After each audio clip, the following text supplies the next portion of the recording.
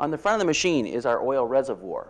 One gallon of oil will come with the 1224 machine, and it will be deposited into the oil reservoir, and the oil then is recirculated through the machine through, with an oil pump that is positioned underneath the top cover, and it actually will deliver the oil through the die head when the die head is in the down position. When the die head is in the up position, the oil just recirculates back into the reservoir so we do not lose oil.